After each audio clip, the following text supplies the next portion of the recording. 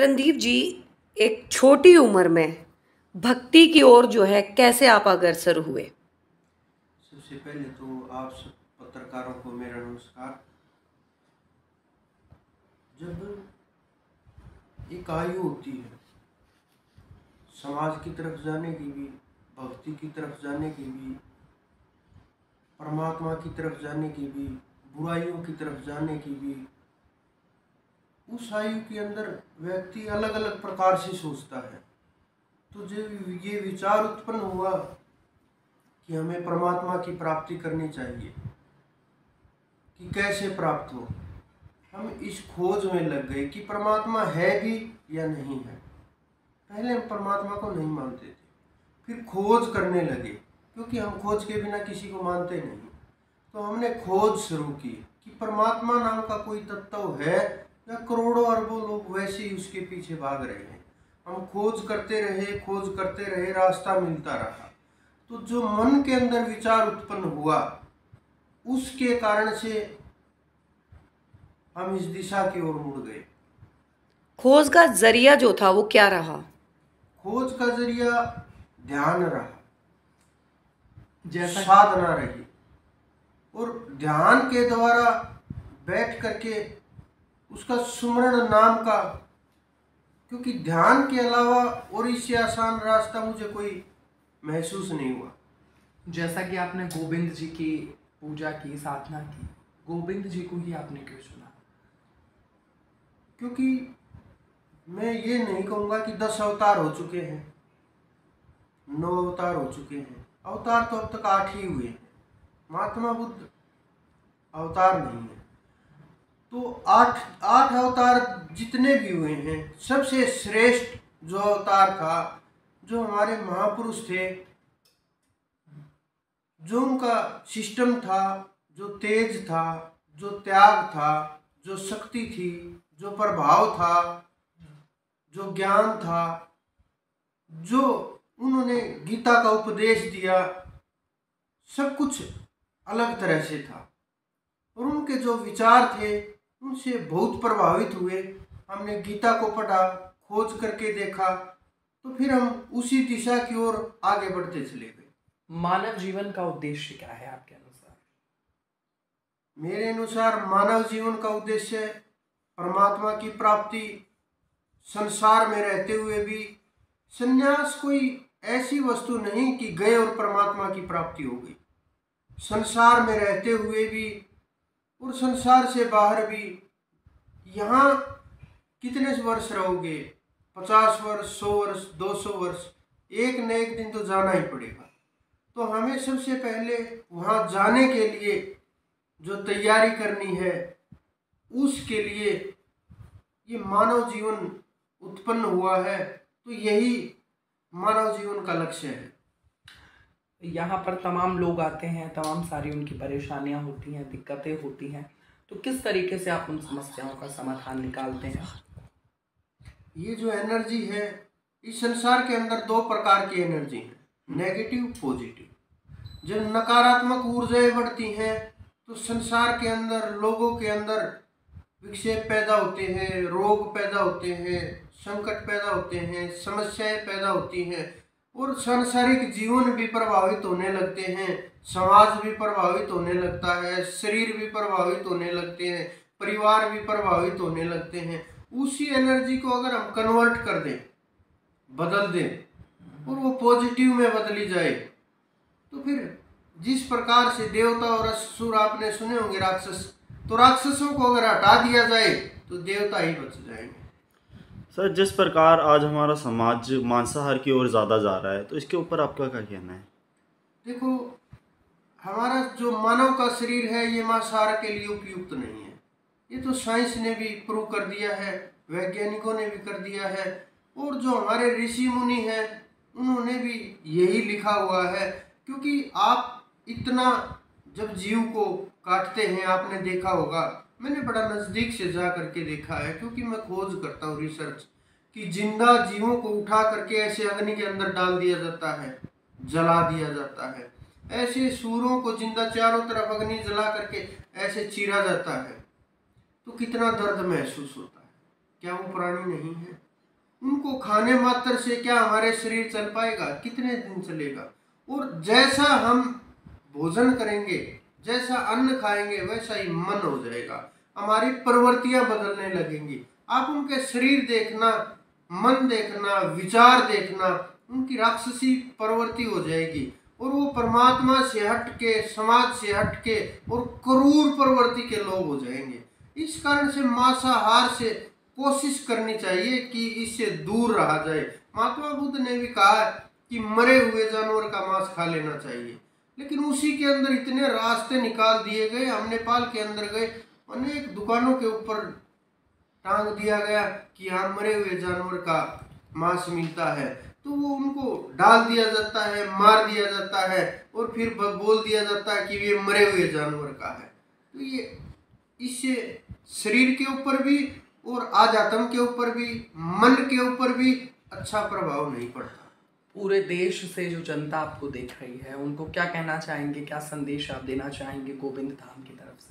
गोविंद धाम की तरफ़ से ये समाज एक परिवार की तरह से है। और समाज से जब हम साथ मिल करके चलेंगे एक दूसरे की मदद करेंगे एक दूसरे के जो कष्ट हैं उनमें सहायक बनेंगे सबसे पहले परिवार फिर समाज फिर प्रकृति फिर परमात्मा ये एक दूसरे के साथ सब जुड़े हुए हैं।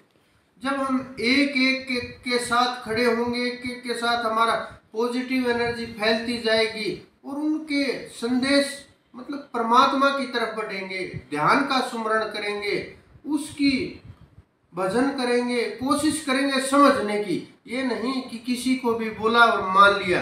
किसी ने भी कुछ कहा, हमने सुना और मान करके बैठ गए।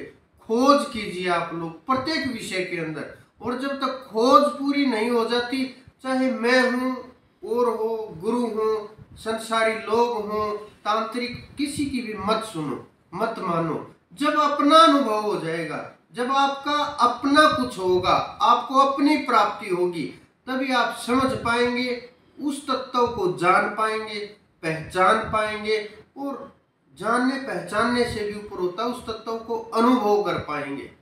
रणदीप जी, काफ़ी दूर दूर से लोग जो हैं वो आपके पास आते हैं और उनका दावा है कि बड़ी से बड़ी बीमारियाँ जो हैं उनकी यहाँ पे आपके गोविंद धाम में आने से ठीक हुई हैं। तो हम ये जानना चाहते हैं कि वो कौन सी पद्धति है जिसके द्वारा गोविंद धाम में इलाज किया जाता है? ये हमारी कोई अलग पद्धति नहीं है कि हमने आज खोज की है या दस साल पहले खोज की नहीं। ये हमारे वेदों की पद्धतियाँ ये हमारे ऋषि मुनियों की पद्धतियाँ हैं। ये हमारे जो पूर्वज थे, जिन्होंने खोज की है कि एक, ये देखिए, जो आपको टेबलेट दी जाती है, जो आपको ग्लूकोज लगाया जाता है, जो आपको दवाइयाँ दी जाती हैं, कैंसर के अंदर कीमो दी जाती है, खून के अंदर चढ़ाई जाती है। तो ये जो पद्धतियाँ हैं, ये साधारण पद्धतियाँ हैं।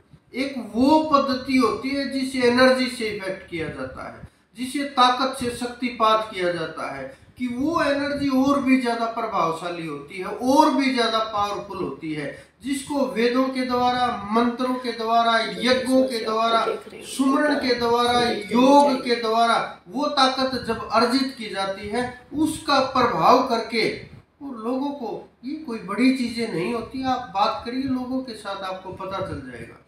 सर अगर हम सनातन धर्म की बात करें तो जिन मूर्तियों को हम मंदिरों में रखकर पूछते हैं पूरे पूरे टाइम उनके खंडित होने के बाद जब लोग उनको पेड़ों के नीचे, रोड साइड फेंक देते हैं, इसके बारे में आप क्या कहना चाहेंगे? देखो, कुछ बहुत से लोग, आजकल ये बहुत ज़्यादा मामला छाया हुआ है कि उठाया, पेड़ों पेड़ों के नीचे रखाए, वहाँ रखाए, जल के अंदर प्रवाहित प्रवाहित कर दिया।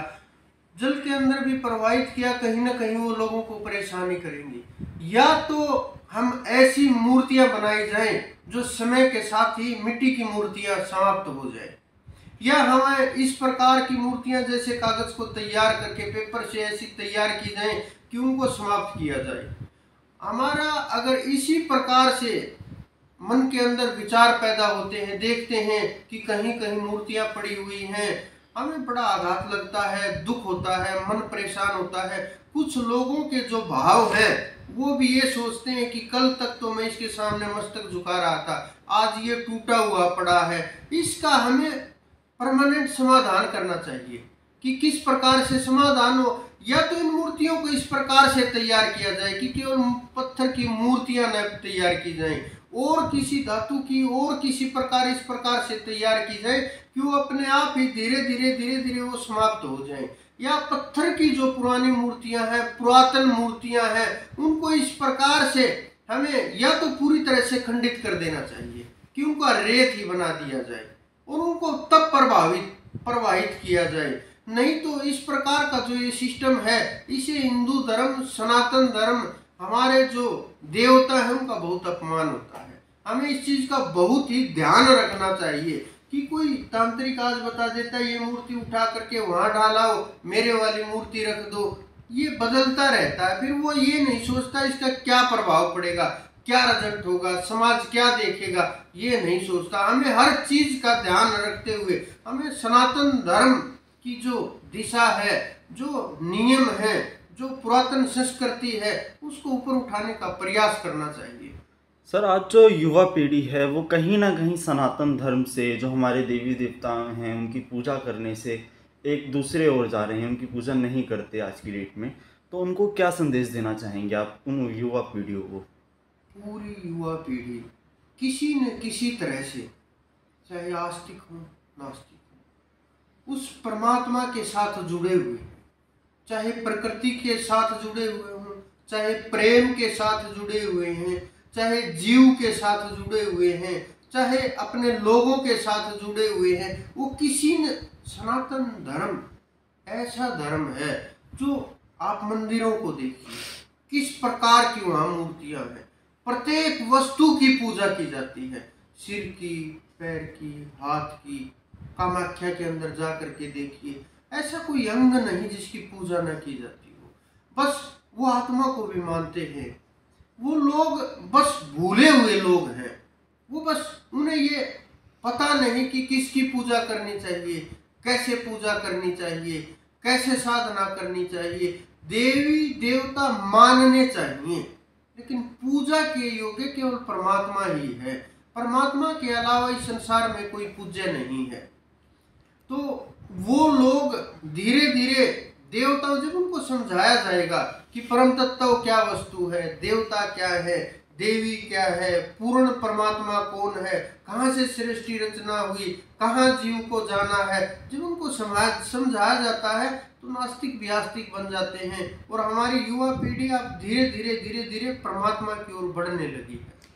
सर, आज की डेट में अगर देखा जाए तो जो युवा पीढ़ी है, मंदिरों में जब हम दूध चढ़ाते हैं, दही चढ़ाते हैं तो वो बोलती है कि ये किसी गरीब को क्यों ना दे दिया जाए? यहाँ पे बहाने से अच्छा है, किसी गरीब को दे दिया जाए। तो इस पर आपका क्या विचार है? देखो, गरीब को भी देने से मना नहीं करते। ये एनर्जी होती है। जिस प्रकार से शिव के ऊपर सोलह वस्तुओं की पूजा की जाती है, रुद्राभिषेक किया जाता है जिस प्रकार से विष्णु के ऊपर तुलसी चढ़ाई जाती है, शिव के ऊपर तुलसी नहीं चढ़ाई जाती। शिव के ऊपर जो तत्व चढ़ाए जाते हैं, वो विष्णु के ऊपर नहीं चढ़ाए जाते। जो गणेश जी के ऊपर चढ़ाए जाते हैं, वो और किसी के ऊपर नहीं चढ़ाए जाते। ये अलग अलग पद्धतियाँ हैं एनर्जी कन्वर्ट करने के लिए। ये ये समझो जिस प्रकार से नग पहना दिए जाते हैं, मंत्र बता दिए जाते हैं ग्रहों की शांति के पाठ कर दिए जाते हैं। ये वो अक्षणिक तत्व है। ये वो अक्षणिक एनर्जी कन्वर्ट करने की एक विधि है, जिससे हमारे अंदर जो नेगेटिव ऊर्जा है, नकारात्मक ऊर्जा, प्रत्येक देवता के ऊपर आप देखो अलग अलग वस्तुएँ चढ़ाई जाती हैं। सबके ऊपर एक वस्तु नहीं चढ़ाई जाती अलग अलग वस्तुएँ चढ़ाई जाती हैं। तो जब उनके ऊपर क्यों चढ़ाई जाती हैं, हमारा समाज यही नहीं समझ रहा। हमारे अपने सनातन धर्म के लोग यही नहीं सोच रहे, क्यों चढ़ाया जाता? कारण क्या है? खोज नहीं करते। बस कोई बोलता, उसको दबा दिया जाता है। कोई क्वेश्चन करता है, जवाब है नहीं, क्योंकि उन्होंने खोज नहीं की, परमात्मा की प्राप्ति नहीं की। जब परमात्मा की प्राप्ति हो जाएगी तो सब कुछ आपके सामने होगा। तो उस एनर्जी को मज़बूत करने के लिए पॉजिटिविटी की तरफ़ बढ़ाने के लिए कुछ पल के लिए जीवन प्रभावित करने के लिए देवताओं के ऊपर वो चढ़ाया जाता है। तो वो चढ़ाया जाता है ये नहीं कि बस गरीबों में बांट दिया जाए वहाँ न चढ़ाया जाए। उस एनर्जी अगर मज़बूत होगी मन मज़बूत होगा ताकत मिलेगी आप लोगों को तो आप उसे गरीबों को भी बांट दीजिए जितना मर्ज़ी बांट दीजिए कौन रोक रहा आप लोगों को? कोई भी नहीं। सर सनातन धर्म के अनुसार हमारे जो वायुमंडल है, उसके अंदर दो तरह की एनर्जी हैं सकारात्मक और नकारात्मक। तो जिस तरीके से नकारात्मक जो ऊर्जा है, उससे बचने के कुछ उपाय हैं? मैं आपको बता दूँ आपकी जानकारी के लिए, तीन प्रकार की एनर्जी होती है। एक पॉजिटिव एक नेगेटिव और एक वो एनर्जी जो ना नेगेटिव है, ना पॉजिटिव वो कभी ना प्रभावित होती है, ना किसी को प्रभावित करती है। वो पूर्ण परमात्मा है, वो इन सब का रचना करने वाला है, वो अलग है। अगर हम जो ये पॉजिटिव एनर्जी है, इसको संभाल करके रखें, इसको संभालने के लिए ध्यान, नाम सुमरण, कुंडलिनी जागरण, योगा भिन्न भिन्न प्रकार के तरीके हैं, जिनसे हम इसको जागृत रख सकते हैं। और जब ये जागृत हो जाएगी तो नेगेटिव एनर्जी अपने आप ही दूर हो जाएगी। जिस प्रकार से आपको ये बल्लभ जला दिया जाए, लाइट ऑन कर दी जाए, अपने आप ही अंधेरा भाग जाता है। उसी प्रकार से ये नकारात्मक ऊर्जाएँ जहाँ परमात्मा की मेहर होगी, नाम सुमरण होगा, प्रभाव होगा, शक्तियों का प्रभाव होगा, उस परम तत्व को याद किया जाएगा और ध्यान के अंदर सुमरण किया जाएगा। ये नज़दीक भी नहीं आएँगे, अपने आप ही भाग जाएँगे ये चीज़ें।